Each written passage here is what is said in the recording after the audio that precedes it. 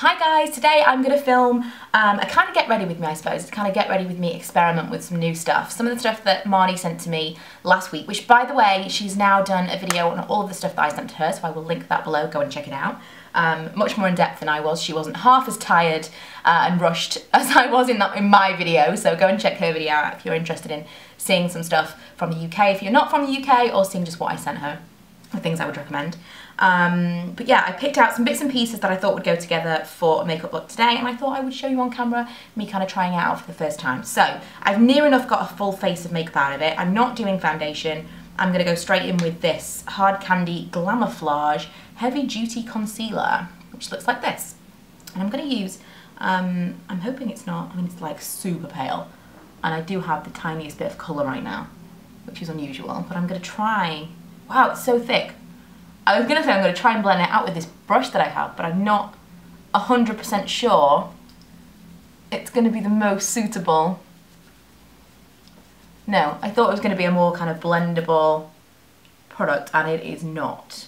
I tend to um, wear kind of concealer on a day-to-day -day basis rather than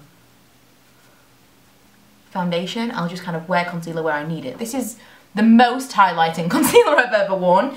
Um, but this doesn't seem to be that kind of concealer. That kind of, it seems to be kind of a concealer that you would just put on the areas that you absolutely needed it, rather than something that you can blend out instead of a foundation. I think I might need my fingers for this, because this is insane. But that is like heavy coverage. If you're looking for something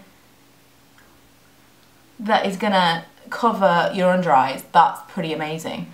It is quite drying. I'm to put a little BB cream on top of that actually because it's quite all around here where I have slightly dry patches. This is the um, Clarins BB cream just because it was to hand but whatever. I'm just to kind of put that around those areas to blend it a little bit better and to give me a tiny bit of moisture. But I think that's like a bit little bit insanely highlighted under my eyes. I might look a little bit brighter when I do the school run later on. Um, but that's my base. Then okay, I'm liking this. I want to give this a bit more of a trial. The colour that I have is ultra light. I would agree with that. Um, put a little bit of powder on. The powder that I'm going to use is this beat up old uh, Bourjois. What is it even called? Oh, here's the top of it. Is it Healthy Balance? Yes, Healthy Balance. This will probably put a bit more colour back into my skin, but a concealer took out. It, it reminds me of something, that concealer, and I don't know what it is. The Kat Von D, I'll tell you why I thought it was going to be blendable, is because I thought it would just be like a, a kind of copy of the Kat Von D one because the packaging looks identical. And the Kat Von D one I found to be quite, um, well, very, very liquidy. I don't know if it was just mine because the reviews that I've read, other people didn't seem to feel the same, but mine was like super, super liquidy and almost like silicone greasy kind of feeling. I didn't really like that, but I expected it to be the same and it's not. So I will use that differently in future and let you know how I feel about it. But for now, moving on. Um, the brow pencil I'm going to use is the Maybelline Define-a-brow, which is one of the things I actually requested from Marnie because it's one of my favourites. Um, one of my favourite things, snapped immediately. this isn't going very well. One of my favourite things that um, I can fill my brows in with, and I'm really particular with my hair being so blonde um, about um, about the texture but the colour more than anything it being kind of ash and if you use um, brow pencils the technical ones that you can kind of twist up uh, the one that I use is Fling this is pretty much an identical product if you can get your hands on it. And if it doesn't snap I can only imagine this is because it's been in transit that it's kind of snapped on the way. You know, like if you drop something and then suddenly halfway through the product it just kind of falls out because it's snapped in the actual tube. I think that's probably what's happened because it's really not working with me today. But that'll do. I really love that brow pencil um, for the colour, but also, also for the texture, almost identical to the MAC one. Um, eye products. I'm going to start with uh, like the colour with this because I'm super excited to try this one. It's the Vinyl Collection from Wet n Wild. I know this won't let me down because Wet n Wild products, although I might not be able to get into it, that might be the parody of this one. There we go. Um, Wet n Wild products that I've tried in the past, especially eyeshadows, have all been completely amazing. So I'm excited to try this one. This one is from the Colour Icon collection. It's super slim, look how thin that is. I love, I know I've mentioned this before multiple times, but I love ultra slim packaging. Um, let's see, I don't have a tremendous amount of brushes out because I haven't unpacked all of my makeup stuff from holiday still. Can you believe we've been back for almost like a week now? Okay, I'm gonna go in with, I wanna go for the super shimmery colour, but it might be a tremendous amount of fallout, so I'm gonna go for the slightly less shimmery shade just there, all over my lid. I have to do the shimmery shade though. It has to be done. Oh, it's almost like a, a peachy. It's darker than it appears in the pan. Hmm. And shimmerier. I was going to do a full nude look. I suppose I could, I've still got time to change my mind, but I kind of wanted to use one of the pink lips that she sent me, especially one particular one stood out, it is a Wet n Wild one, and I really wanted to use that one particular one, so I'm going to have to use that one. Right, I'm going for the full sparkle, so wish me luck. Just going to do the kind of inner half. And hope it doesn't get absolutely everywhere. I think I have a little already.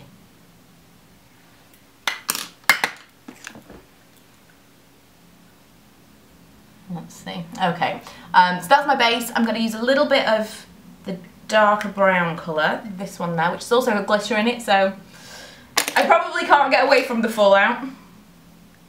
Just a teeny bit in my crease. Nothing special because I can't do anything special. this is as talented as I get when it comes to makeup.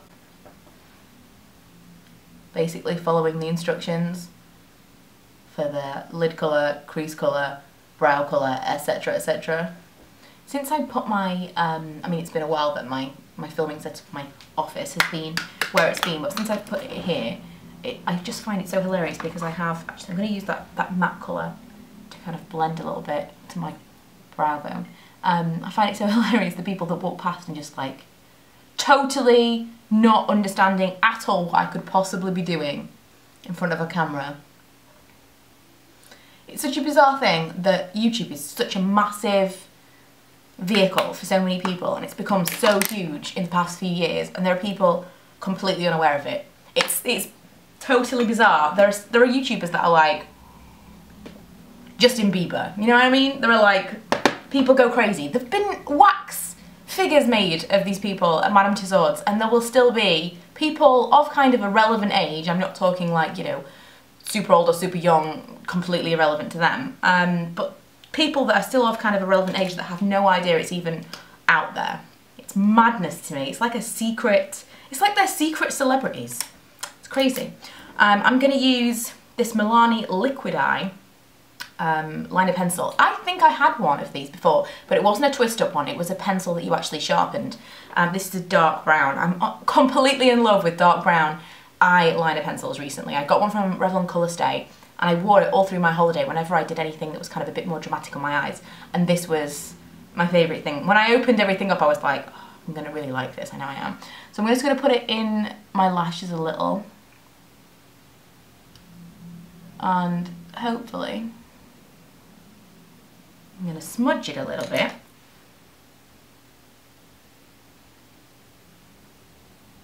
but I had this one before. I bought one in black. Um, I think it was actually the first time I went to Vegas. I remember really liking it, like how pigmented it was, it's amazing. And I would say this is probably the same thing, but those of you who can get Milani easier than me, um, please tell me if they've changed the packaging of this in the last few years, or if it's just a different product, I don't know. But again, all the things that I do makeup wise are basically like something that you can do messily and hopefully make it look like it was intentional. There's no art to it whatsoever. And no, I'm Like, do I do a little under the eyes? I'll do a little under the eyes. Maybe I need a bit of definition since my under eyes are now, oh, it's not twisting up. Hmm. Um, since my under eyes are now like as, as pale as they could possibly, possibly be. Put the tiniest bit on and smudge that out. I realise that I've got the camera at a really strange angle to do this, so you probably can't see anything at all.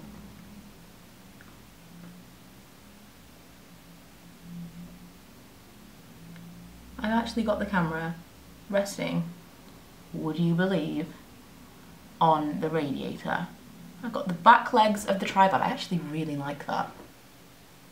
Um, the back legs of the tripod are on the windowsill, and the front leg of the tripod being that it's a three, the front leg, um, is on the radiator. And so it kind of has to, this, this is as low as it can be. It's basically the only way that I can put it there without having to make a space and move the desk and everything and make a space for my tripod. And so that's why I'm looking up at you like this. That is why, if you were wondering.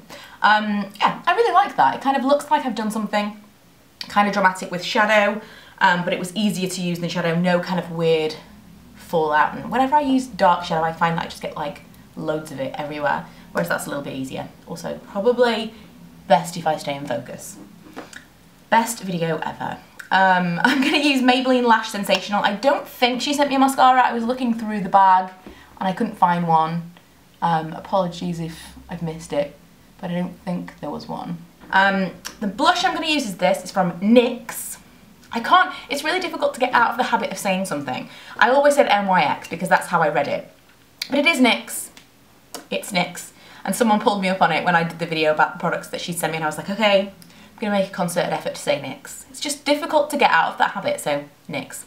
Um, and this is in Pinched. This was, I didn't really send many things um, to Marnie that I wanted. I didn't really send her kind of a list. She had a few things that she wanted from me, but because I was going to be in America anyway when she sent me the package, I kind of thought, well, anything that she doesn't send me, I can get for myself. It's not that big a deal.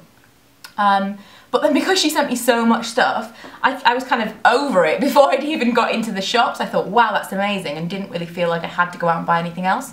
Um, but when I've actually gone through everything and I've got home, there are a couple of things that I really would have wanted to buy for myself, and things like NYX aren't that easy to find um, in drugstores. I, what I really wanted her to send me was things um, from, you know, like things from Target and Ulta and places like that, places that aren't going to be um, a walking distance away from somewhere that you would normally stay. Like when I'm in New York, I say that like when I'm in New York, when I when I've been to New York, um, I've uh, looked for certain brands and you just can't find them anywhere because they're more in kind of big, like larger chain stores that aren't kind of city centre and things, aren't drugstores and stuff. So I'm really glad that she picked me up some bits and pieces. She got me quite a few things from NYX actually.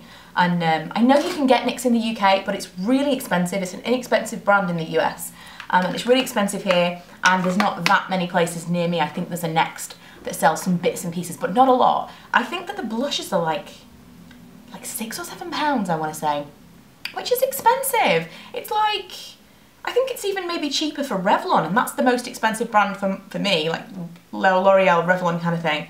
Um, a top of the line when it comes to drugstore. And NYX, in my opinion, was always a really low cost brand, so I didn't really want to pay that, but whatever long story short, really, really like that blush. Let me know what you think. Um, and that was definitely a brand that I would have asked for if I'd kind of thought about it. That Wet n Wild eyeshadows, which she sent me as well.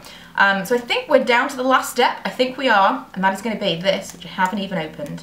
And do you know the difficulty it is for me to actually use a lipstick without taking a picture of it? Someone said something about not swatching things in the video um, of Marnie's kind of Milo's shouting me I should go in a sec. He's doing colouring.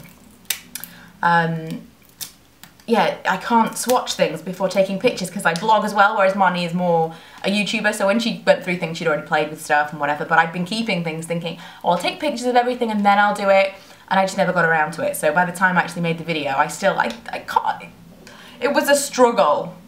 Right, I'll be back in a minute. It's cool, it's program finished.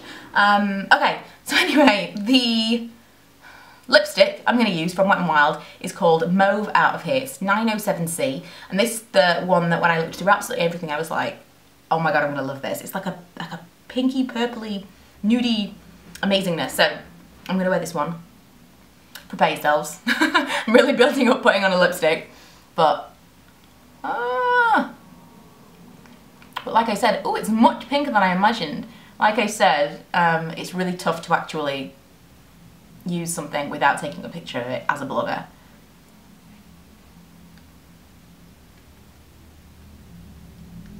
Mm, and it's quite matte as well, much more than I imagined it would be.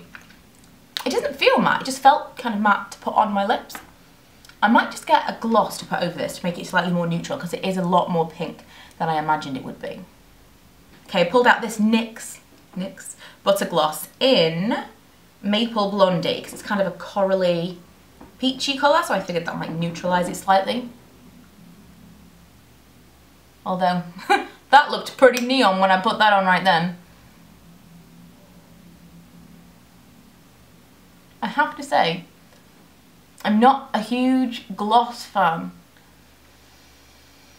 but that smells so good. It smells like something I don't know what it is. It's like a sweet or a... Is it like raspberry ripple ice cream? Someone from England tell me that. Is it raspberry ripple ice cream? Because I would imagine that that smells different from like country to country. But that is amazing. I love the smell of that. And it's not at all sticky. It is indeed a buttery feeling. So yeah, I used quite a few products there in the end. Um, so what, what do you think? Tell me what you think. I really like the Wet n Wild. It's much bronzier than I would imagine. It's much warmer on my eyes. If you look at that, I thought it was going to be quite cool tone, kind of taupey colours. Because um, I used the cooler side. If I'd used that side, I would have expected.